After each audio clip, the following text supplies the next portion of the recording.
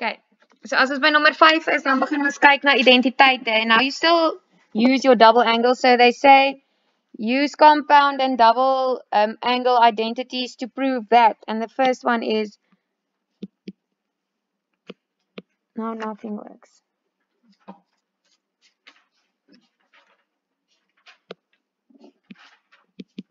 Five point one says sine of three x is equal to 3 sine x minus 4 sine to the power of 3x. Okay, goed, so ons gaan eers net kyk na die linkerkant en hoe kan ek sin van 3x gaan skryf? Goed.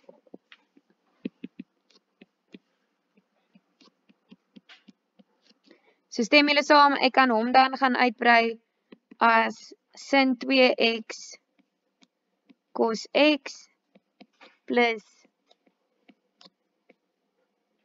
cos 2x sin x. Good. Almal by. How can I write sine of 2x? 2 sine x cos x. En dan net jy moet sien daai daai brei uit na daai gedeelte toe. The cos x we carry from the previous term.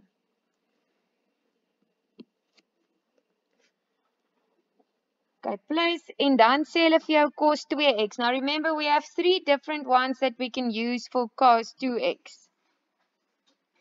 Okay, so ek gaan hom net gou-gou vinnig eers hou daarop uit en vir julle wys as ek hierdie ene gaan vereenvoudig.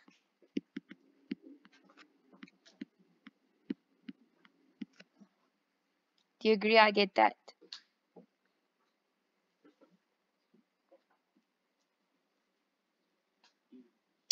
Okay. Goed, so ons wil in hierdie term uitkom by sin tot die mag 3x. Do you guys see that? Okay, so I'm going to use my sine double angle conversion. I think you could have used one of the other ones as well. We're going to play around with it and check, want jy moet nou gaan kyk dat jy by daai ding kan uitkom. So I'm going to use the one that says 1 minus 2 sine squared x.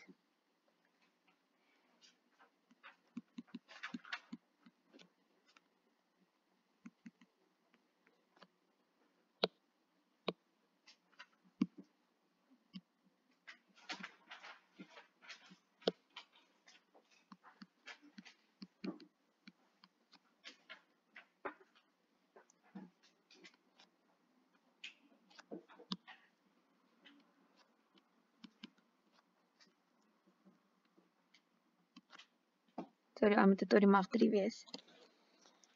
Okay. So far so good. But now I have almost everything in terms of sine except for this. Hoe kan ek cos kwadraat x gaan skryf in terme van sin x? Yes.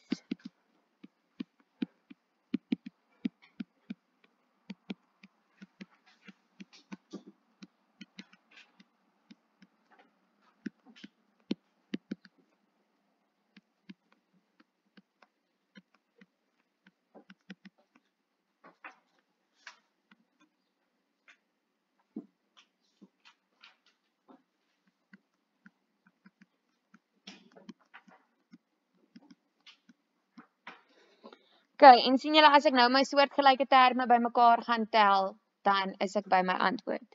Because 2 sin x plus sin x is 3 sin x and then I have negative 2 and negative 2 which gives negative 4 sine to the power of 3x. Okay. Ek wil net gou vinnig stil staan by hierdie uitbreiding. I don't know if any of you attempted one of the other expansions. Anyone? You could have used the cos squared minus sine squared and then you took out the common factor of cos squared. And then you expand that to a bracket of 1 minus sine squared. Maar met hierdie moet julle rondspeel en kyk wat is dit wat ek soek. Do you see on the right hand side we only have sine functions. So that's why it seems as if you should be using the one that doesn't have any cos functions in the expansion. Want hy nou om toe.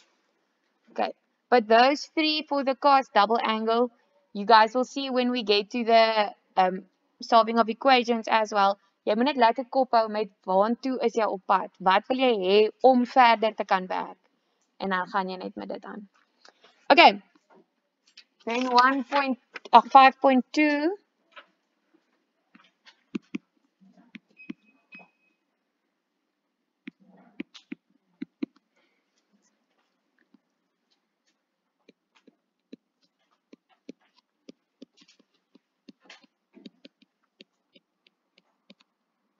We have to prove that.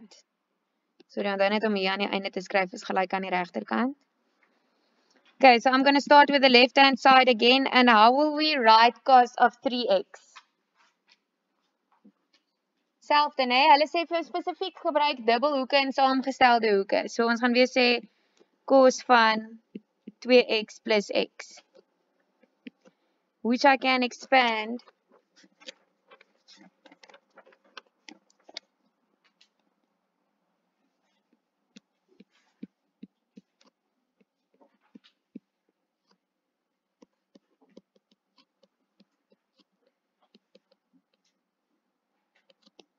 to that.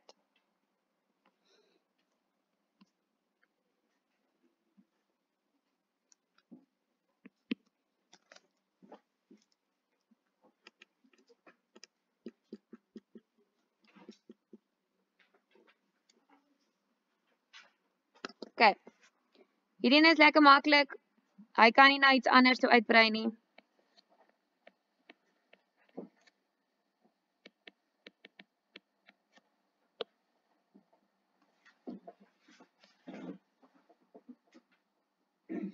So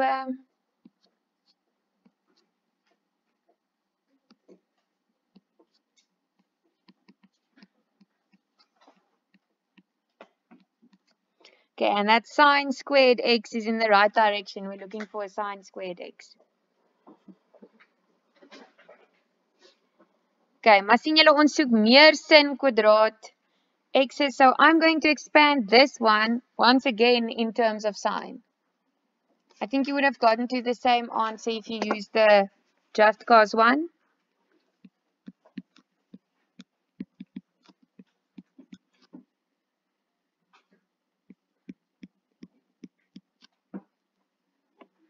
Daai ene.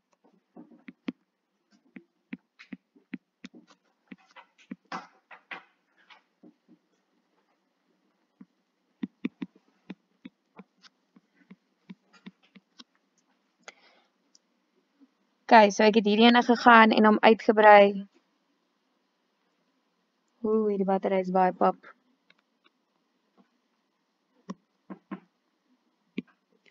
This one I expanded to that.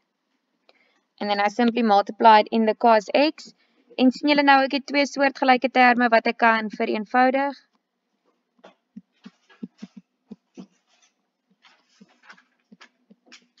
And then I simply factorize out a cos.